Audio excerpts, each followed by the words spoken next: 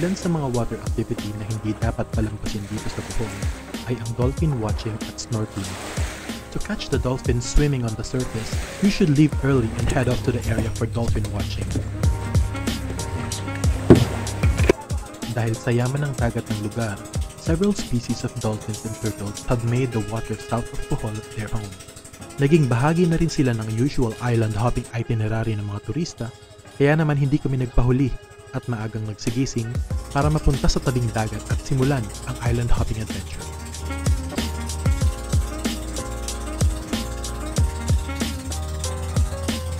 They say that you typically only get a 40% chance of spotting them, pero it would always be worth the try.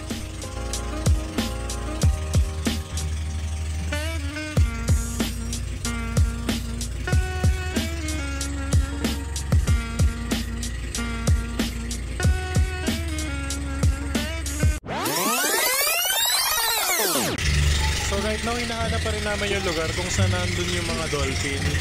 Um, paikot-ikot kami siguro mga 20 to 30 minutes na at hinahanap namin kung saan lalabas yung mga tumatalo na dolphin. Wow, ang dami! Wow!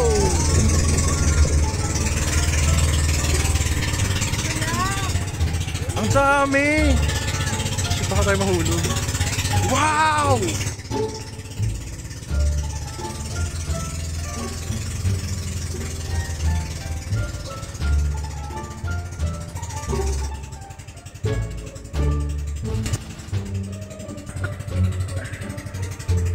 Dolphins oh. Dito yung dolphin watching dito sa Panglao. May area talaga kung saan lumalabas yung mga dolphin. Wow, ang ganda. Totoo pala yung dolphins, no? Ayan lang sila.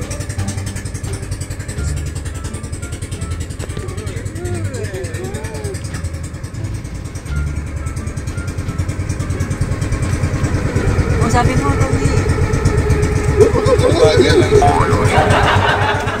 Ito lang sila sa gilid. Wow. Oo, ang dami nila oh, grabe. First time ko makakita ng dolphin ng malapitan ng ganito. Ayan sila oh. Kuya, hindi ba ano yan? Hindi ba tuna yan? Against the light naman kuya, paki-feedback ka na lang. yung mga dolphin.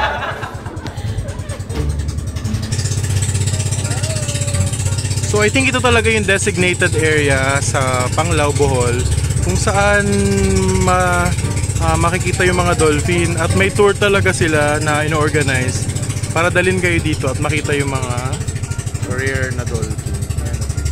Yan lang sila.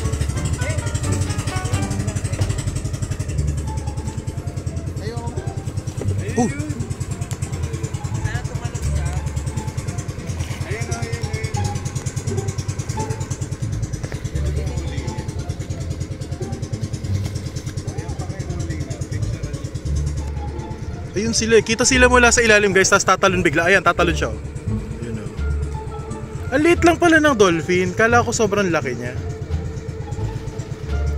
At may pairs talaga yan sila. Talaga ba? Ah. ayun o. Tatalon yan. Normal pala nila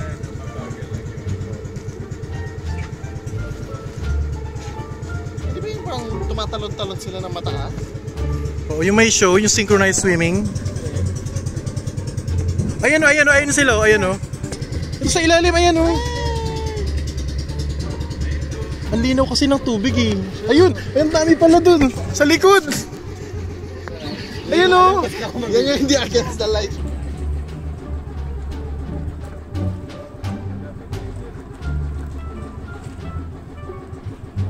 Ayun sila, ayun, ang dami. Sa harap, wala, hindi ko na alam kung saan ako pupunta. ito, ito, ito, ito, ito, ito.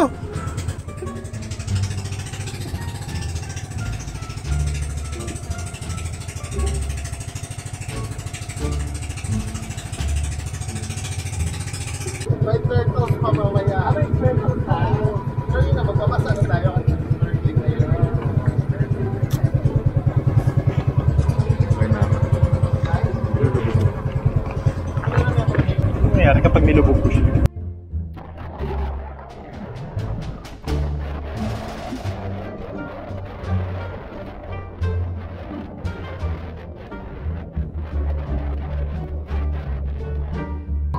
Ay, ayan din sila, naghahabol ng dolphin din. Baka pauwi na sila.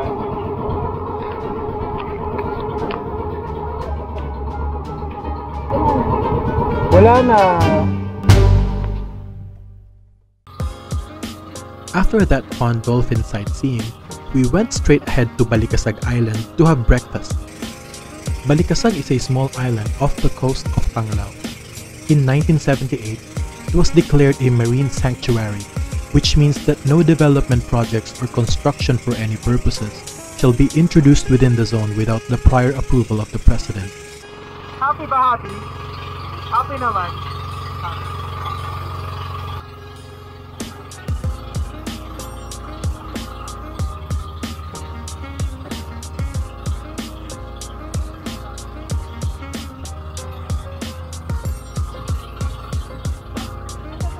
friends and I were already quite hungry, so we were really looking forward for a quick breakfast in the island. Sobrang linaw ng tubig. We are approaching Balikasag Island. Isa to sa mga pinaka-popular na destination dito sa Bohol dahil sa napaka-clear na tubig niya at saka sabi nila marami daw turtle dito. Grabe, sobrang linaw oh. Look.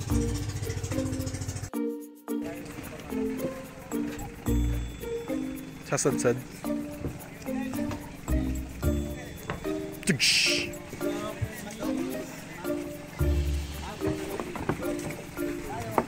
Touchdown Balikasag.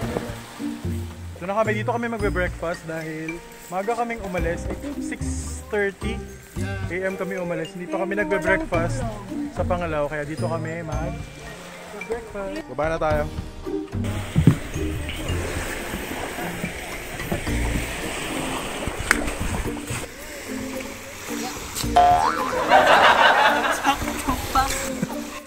Sumuot. Trip. Ang silog nila sa akin. Dalawang egg na, no? Nandito na kami sa Balikasag Island. Dito kami nagbe-breakfast, di ba? So, mag-order kami. Meron na dito mga ready to order na food. And so, hindi problema yan kung hindi kayo nakakain sa Panglao or sa Bohol mismo. Yun lang. Pwede na kayo dito kumain before kayo mag-start ng water or island tour. Nag-enjoy ba kayo sa dolphin watching just now? Yeah, sobrang dami ng dolphin. Raymond, nag-enjoy ka ba? May tulog ba tayo? One minute. And ayan, dumating ng aming food. Um, typical Carinderia food dito. Sa, nasa isla naman kami. Pero may ano. May ano. Pero meron silang pa ano, sa yung sinigang nila nakalagay sa ano, sa palayok na maganda. Ayan, done na kami. Yes. Thank Busog na busog. Oh, ito sa amin ito. Tapos magkano yung sa Busog na busog. Ready for Wala, kami, water wala na akong suk kaming suklo.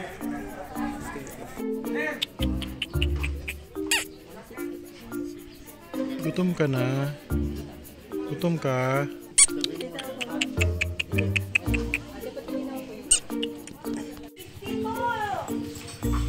orientation.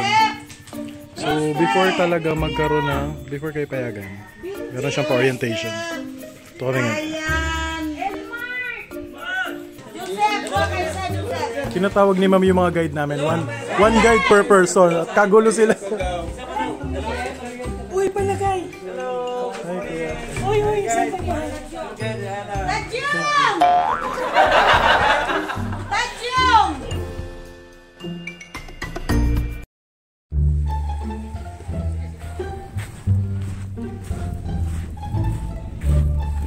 Papunta ako sa boat na sasakyan ko para sa um, snorkeling.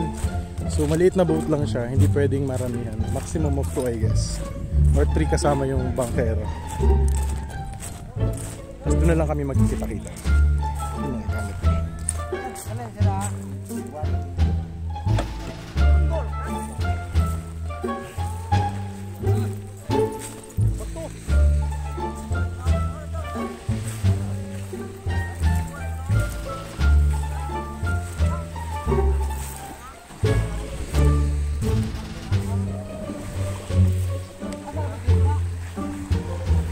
Sakay na tayo.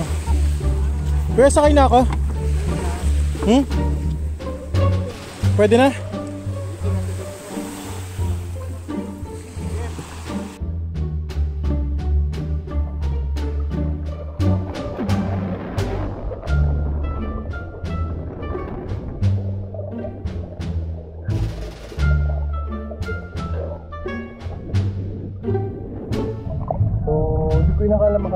Sa Balikasag kasi nakita ko lang sa plane.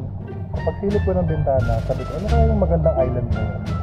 Uh, and then I knew that it was Balikasag Island. Uh, Pabilog sa na island and then suddenly, dito na kami, on a tour. Sabi ni Kuya na Bakero, lagi lang daw dito nag-stay yung mga napawikan. So ito talaga yung kanilang resting and nesting place.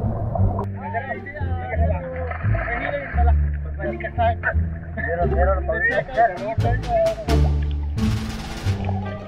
kasama ko si Aaron, the friend of Rapid Boat friend and my long time friend. Long time friend.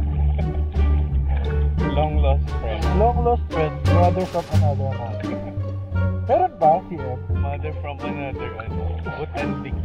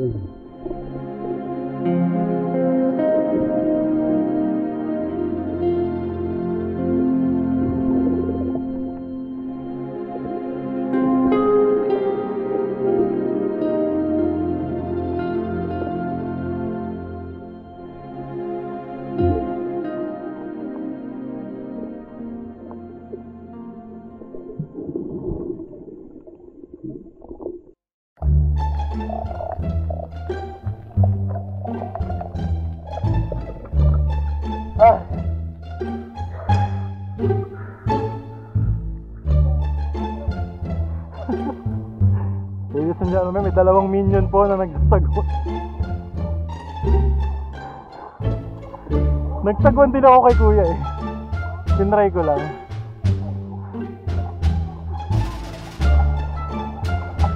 Nakakahiya, kita yung sun. Anong next activity natin? Ayun, guys, daw. Magsisimula ng fish. School of fish. Wow. One, two,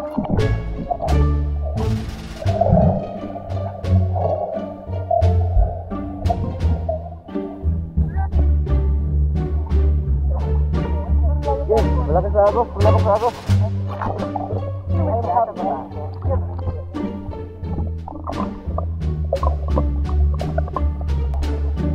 Malaki sa agos. Hawak ka lang, hawak. Hawak lang kayo. Hawak lang doon, oh. Doon kayo, hawak. Ay, video pa sila, video.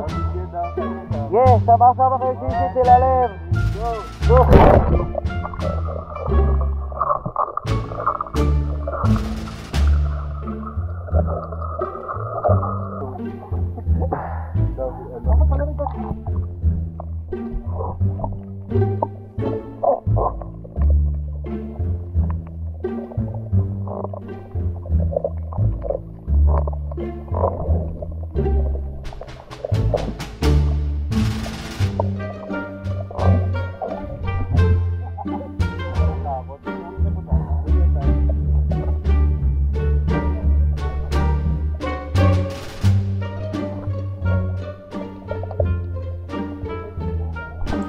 The whole snorkeling experience lasted for only about an hour and a half as the scorching heat of the sun almost burned our skin.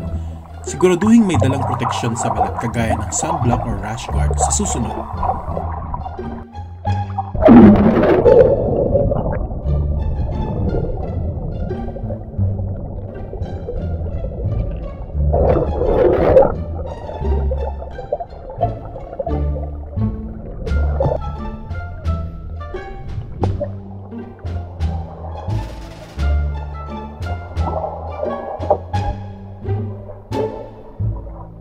Yan, tapos na yung island tour namin sa Balikasag.